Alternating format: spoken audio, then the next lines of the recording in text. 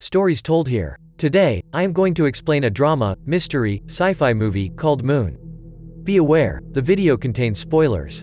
In the near future, Lunar Industries has made a fortune after an oil crisis by building Sarang Station, a facility on the far side of the moon to mine the alternative fuel, helium-3 from lunar soil, which is rich in the material. The facility is highly automated, requiring only a single human to maintain operations, oversee the harvesters, and launch canisters bound for Earth containing the extracted helium-3. Please, if you enjoy my videos, hit the like and subscribe button, it helps a lot, thanks. We meet Sam, who is near to finish his three-year contract on the moon base. Gertie is a computer who helps operating the mine. Sam gets into a vehicle and heads to the extraction vehicle to retrieve helium-3 and send it to Earth. Sam expresses how long three years is and that he can't wait to go home. Sam is having issues with being alone for this long and shows signs of depression. We see a fridge with photos of his family. Gertie tells Sam he can do the loading for him but Sam refuses to take Gertie's help. Gertie asks Sam if everything is okay while cutting Sam's hair but instead of answering, Sam asks Gertie when will they fix the lunar satellite so he can talk with his family.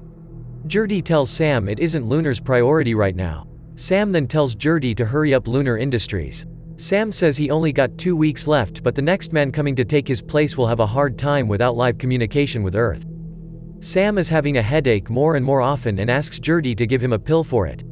Sam gets a message from his wife, Tess. She says the distance did good for them and she doesn't mind the three years apart, which apparently hurts Sam's feelings. Sam's daughter, Eve, enters the video and Sam instantly becomes cheerful. Tess tells Sam she misses him and loves him before the video ends. We see Sam spending free time carving and talking to his plants while watching old movies.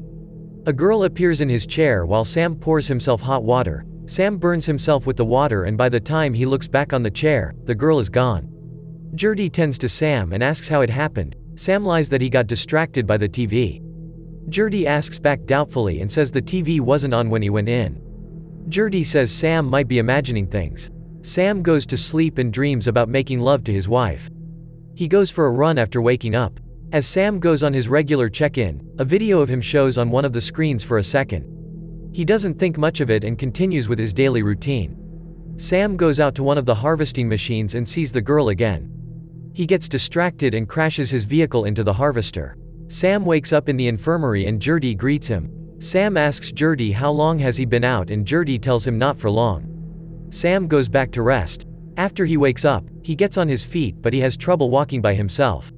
As he stops to rest, Sam hears Gertie talking to someone about the broken harvesters. Sam asks what was that all about and Gertie tells him he was only recording a message since the communication station is still broken. While testing Sam's brain functions, Gertie tells Sam that Sam needs a few more days to rest before he can get back to work. When Sam gets back to work, he sees one of the four harvesters a stall and he sends a message to Earth to let him go out and fix it. He gets orders stating that he cannot go outside and only rest for a couple of days. The company also tells him that they are sending a rescue team to get the station back on its feet. Sam cuts one of the wires and tells Gertie the exterior shell might be damaged and he needs to check it outside. Gertie refuses first, as he has orders to not let Sam outside, but he knuckles under and tells him to go. Sam sees that his spacesuit is missing and uses a spare one. Instead of checking the exterior shell, Sam heads to the harvester where he crashed. He enters his crashed vehicle and sees a man sitting inside. He rescues him and realizes that, he looks exactly like him.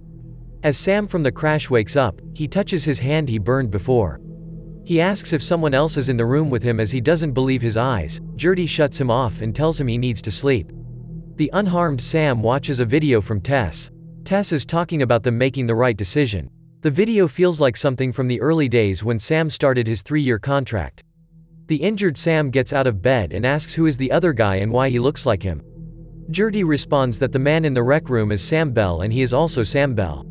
The injured Sam crumbles as he thinks he lost his mind.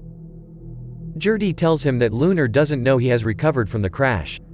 Injured Sam finally goes up to the other Sam and tries to talk to him and asks how long he has been there. The uninjured Sam tells him he's been there for only a week. New Sam tells old Sam that he isn't worried about the harvesters, he is more concerned about finding a clone on the base. Old Sam goes back to cater his plants and talk to them when the new Sam disturbs him. Old Sam tells the new that he has been there for three years and thanks him for saving his life. Old Sam tries to shake New Sam's hand but he refuses. They start playing ping pong. The new Sam gets angry as he isn't as good as old Sam.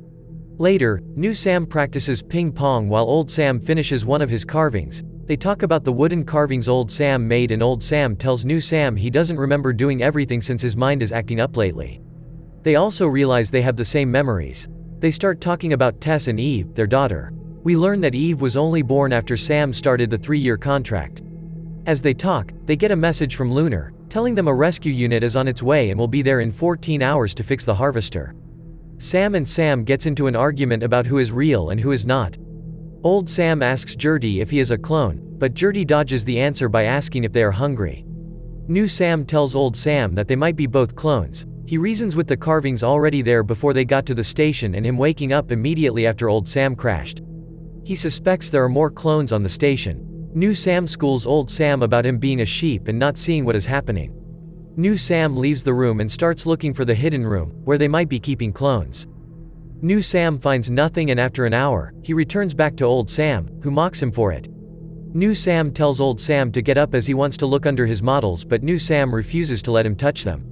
They get into a physical fight as old Sam refuses to put down the knife he's holding. New Sam pushes him to the wall and disarms him. New Sam flips the table with the models on it so old Sam attacks him from behind but New Sam gets the upper hand and hits him on the face. Old Sam starts bleeding heavily even though New Sam barely touched him. Old Sam tells Gertie that Tess left him for six months which Gertie replies, I know. Sam asks what happened to the video messages he sent to Tess, he asks if they even reached her. Gertie dodges the question again with saying he is only responsible of what happens on the base. Old Sam asks Gertie again about him being a clone. Gertie finally tells him that there was no crash when he arrived, he was being awakened, as it is a standard procedure for all new clones. Gertie tells old Sam that Eve and Tess are just implanted memories uploaded to him, from the original Sam Bell. With 11 hours left until the rescue unit arrives, new Sam apologizes to old Sam for hurting him and being insensitive about his models. Old Sam starts maniacally dancing as new Sam tries to talk to him. New Sam tells old Sam when he was awakened, he walked on Gertie having a live conversation with Lunar so the communications are fine.